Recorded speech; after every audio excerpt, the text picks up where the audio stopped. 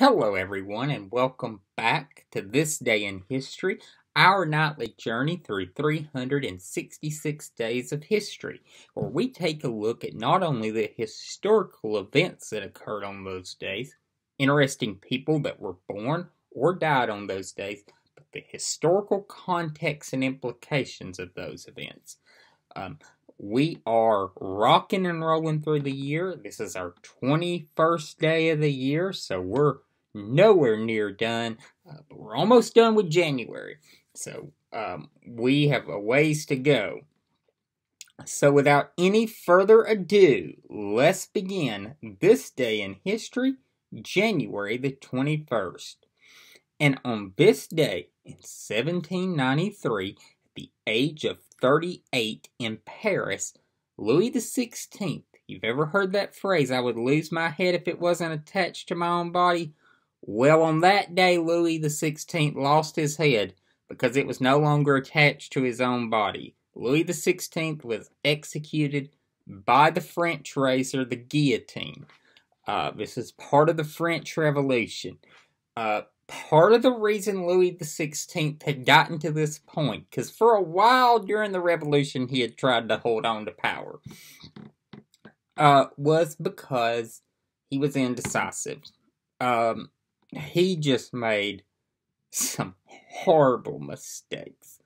Um, and this was a time in which this ideal of getting rid of a king, especially in France, made some sense.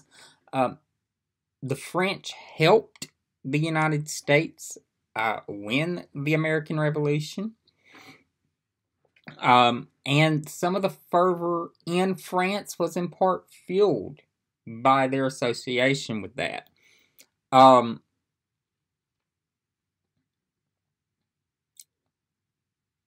Louis the Sixteenth um, is, I mean, the events that occur later in 1793 are terrifying uh, and it's known as the Reign of Terror. It began in the summer of 1793 and would continue until the summer of not 1794. Um, and uh, the man that started it and was responsible for it uh, would meet the same fate himself. But Louis XVI on this day um, met the end uh, with the French guillotine. All right, let's look at some births that occurred on this day. On this day, in 1951 in New York City, Eric Holder was born. Uh, Eric Holder was the first African American Attorney General of the United States. He served during the administration of Barack Obama he served in the Justice Department during the administration of Bill Clinton. Um, Holder um, is a very controversial figure uh, to some people uh, for actions he took as Attorney General.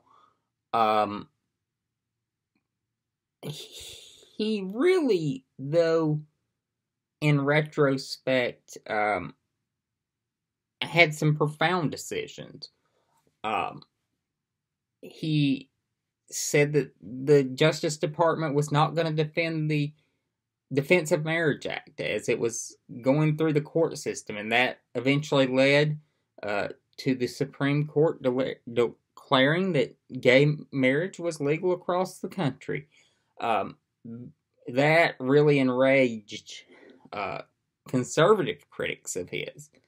Um, he also um, in their mind, did not produce enough documents in the Fast and Furious investigation.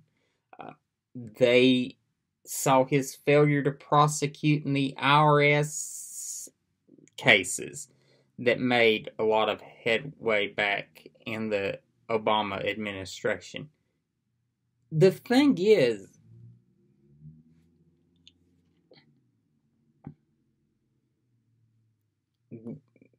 it, it's just you've got to understand that he was Attorney General at a time uh, when there was a lot of overblown rhetoric on both sides. Um, and that continues uh, to this day. Uh, he is now um, a private attorney again uh, for a brief time. In 2019, uh, he was considering a run for president.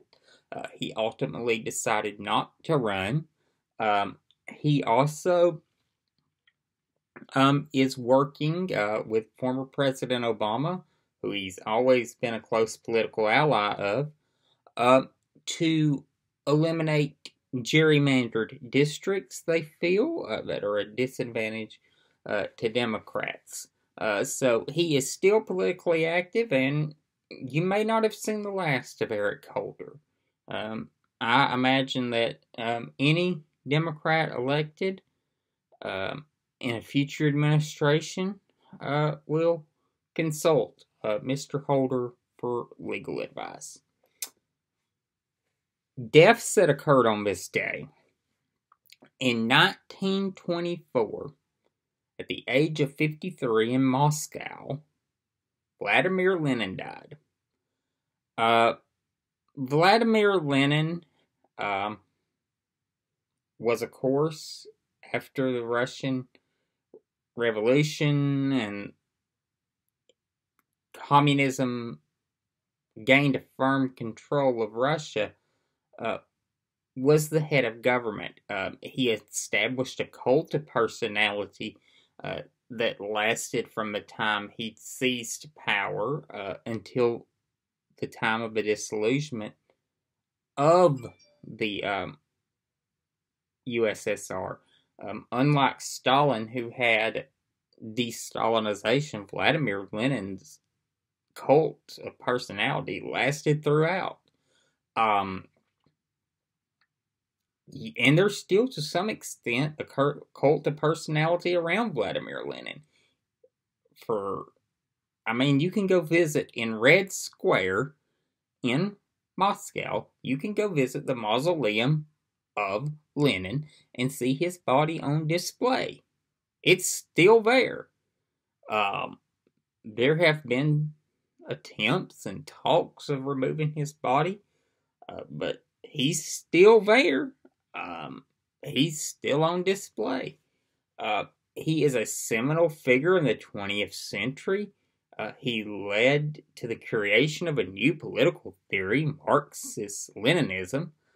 Uh, he is seen as also just a terrible figure in history for what the Soviet Union was under him, what it became after he died.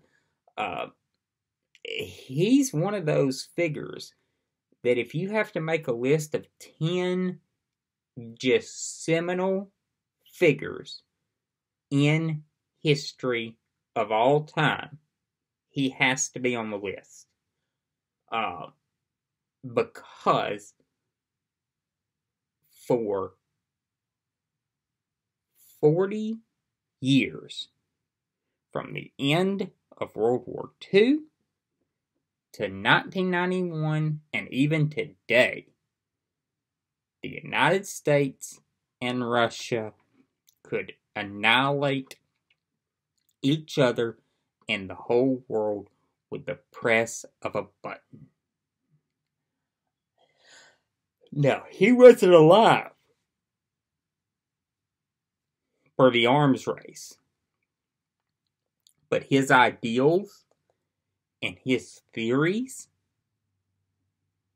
they tie back to that. Um, I think one particularly scary thing that is occurring uh, is that some young people are seeing his ideals and not taking them fully into context and see a hero.